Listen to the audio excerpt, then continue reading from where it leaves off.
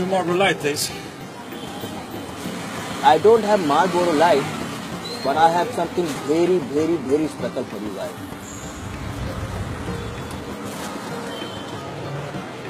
This is Indian exclusive premium handmade cigarette from Gamaya Pokka Durlap City.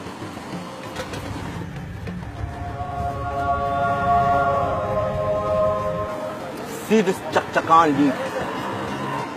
This is turmeric leaf. This cigarette is made of the finest tobacco. Hand rolled itself by Munsi Ke Dulhi of Himalaya. How much is it?